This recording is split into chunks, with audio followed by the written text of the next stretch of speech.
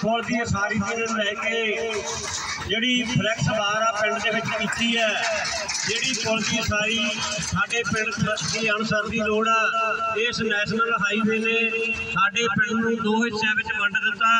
ਇੱਕ ਪਾਸੇ ਜਿਹੜੇ ਸਕੂਲ ਆ, ਹਸਪਤਾਲ ਆ ਹੋਰ ਲੋੜਾਂ ਜਿਹੜੀਆਂ ਦੂਜੇ ਪਾਸੇ ਦੇ ਲੋਕ ਜਦੋਂ ਇੱਥੇ ਆਉਂਦੇ ਆ, ਤਾਂ ਹਰ ਟਾਈਮ ਬਜ਼ੁਰਗਾਂ ਨੂੰ, ਬੱਚਿਆਂ ਨੂੰ, ਜਿਨ੍ਹਾਂ ਨੇ ਸਕੂਲ ਜਾਣਾ ਹੁੰਦਾ, ਮੌਤ ਦਾ ਸਾਇਆ ਬਣ ਰਿਹਾ ਰਹਿੰਦਾ ਦਿਮਾਗ ਤੇ।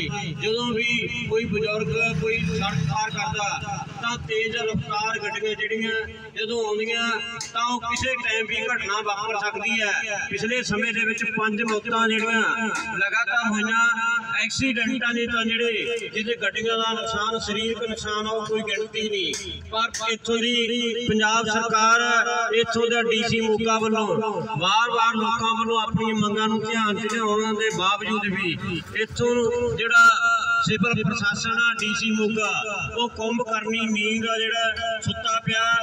ਜਦੋਂ ਜਾਂਦੇ ਆ, ਤਾਂ ਉਹ ਕਹਿੰਦੇ ਆ, ਅਸੀਂ ਤਾਂ ਤੁਹਾਡੀ ਜਿਹੜੀ ਮੰਗ ਆ, ਸਾਡੀ ਮੰਨੀ ਹੋਈ ਹੈ ਪਰ ਉਹ ਮੰਨੀ ਹੋਈ ਹੈ ਤਾਂ ਲਾਗੂ ਨਹੀਂ ਕੀਤੀ। ਕਹਿਣ ਤੋਂ ਭਾਵ ਆ ਜਿਹੜੀ, ਇਹ ਕੀੜੀ ਦੀ ਚਾਲ ਚੱਲ ਰਹੀ ਆ, ਤੇ ਲੋਕਾਂ ਦਾ ਨਿਤ ਦਿਨ ਜਿਹੜਾ ਨੁਕਸਾਨ ਹੋ ਰਿਹਾ।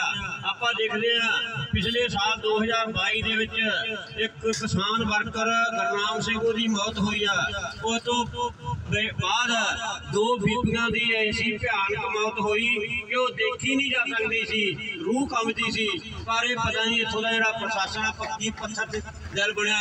ਇਹਨਾਂ ਦੇ ਨਾ ਰੂਹ ਕੰਬਦੀ ਆ, ਨਾ ਇਹਨਾਂ ਨੂੰ ਲੋਕਾਂ ਦੇ ਦੁੱਖਾਂ ਸੁੱਖਾਂ ਦੀ ਕੋਈ ਸਹਾਰਾ ਆ। ਪਿਛਲੇ ਦਿਨਾਂ 'ਚ ਇੱਕ ਬ- ਜਿਹੜੀ ਮਸੂਮ ਵਾਲੜੀ ਆ ਤੇ ਸਾਡੇ ਉਹਦੇ ਦਾਦਾ ਜਿਹੜੇ ਸੀ ਮਿਸਤਰੀ ਜੀ, ਉਹ ਵੀ ਇਹ ਸੜਕ ਦੀ ਭੇਟਾ ਚੜ ਚੁੱਕੇ ਆ।